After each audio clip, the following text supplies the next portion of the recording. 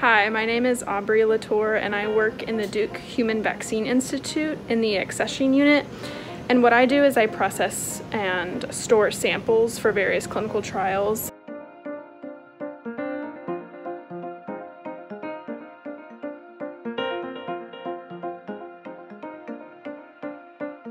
RTP has provided us with a lot more space than we used to have. Um, we have a lot more bench space and just to generally have more room for all of our equipment